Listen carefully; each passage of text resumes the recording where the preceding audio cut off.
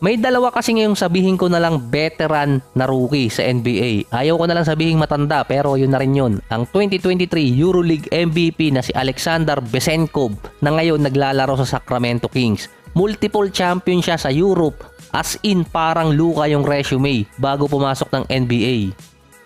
Siya din yung binabanggit dating major addition ng Sacramento Kings ngayong season dahil matagal na talaga siyang iniintay sa NBA. Siya din yung player na drop and stash, yung sasali sa draft tapos kapag napili, hindi muna maglalaro. Either ang reason nun, tatapusin muna ang kontrata sa Europe at yung isa ayaw bilhin ng team yung kontrata niya. Ang original na pumili sa kanya Brooklyn Nets noong 2017 sa second round. Kinuha naman via trade yung rights niya ng Sacramento Kings na ilang beses silang nag-antay na dapat last year maglalaro na si Bisenkov sa NBA.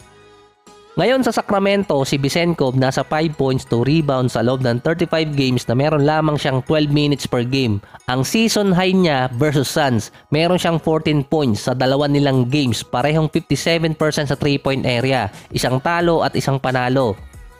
So hindi pa na-unleash si Bisenkov sa NBA ngayon kasi nga deep yung rotation ng Sacramento. Isa pa, siya din yung former EuroLeague MVP na potential na mag-fail sa NBA ngayon. Pero yung isa mukhang lumalabas na yung laro, si Vasily Misic ng Hornets. So hindi ko talaga alam kung tama yung bigkas ko doon. At ngayon trending ulit siya dahil nga pinatumba niya si Kevin Durant galing sa isang crossover. Part siya ng Serbian national team at dating naging ka-teammate din ni Nikola. Two-time EuroLeague champion, 2021 EuroLeague MVP at marami siyang championship na nakuha or accolade sa Europe bago pumasok sa NBA. So sabi ko nga parang Luka resume. Kasi bago pumasok sila ng NBA Hall of Famer status na. So hindi lang naman NBA ang tinitingnan doon para mapasama sa Basketball Hall of Fame. Ang kabatch pa noon nitong si Misic ay si Andrew Wiggins at si Nikola Jokic noong 2014. Napili siya bilang number 52 sa second round ng Philadelphia. Yung taon din na yun, nanalo siya ng MVP sa Serbia. Sa tagal niyang hindi naglaro agad sa NBA na trade yung rights niya pwede kasing i-trade ng isang team yung player na nasa kanila ang rights kung hindi pa ito naglalaro. Mostly mga European player yon. Kaya nga dati ayaw ni Yanis ng draft and stash. Siya yung tinatag na best player sa buong mundo na hindi naglalaro sa NBA. So sila may sabi nun. Siya yung ginagawa ng content ng iba dati na bakit ayaw niyang pumasok sa liga. Kumbaga kung meron Lucas sa NBA ngayon, ang unang player na may isip agad na international player na pwedeng tumapat doon ay itong si Misic. Ang dahilan din kung bakit hindi agad siya naglaro sa NBA ay dahil may kontrata pa siya noon sa Serbia or sa Euroleague. Kailangan niyang tapusin yun. Ang hinihingi niya pa sa isang team ng mga sumunod na taon, 6 million to 7 million dollars kada taon na kontrata. Yung contract na yon ay halos kaparehas na ng first rounder dati. Ang hinihingi niya pa doon, at least starter type minutes o role sa isang contending team.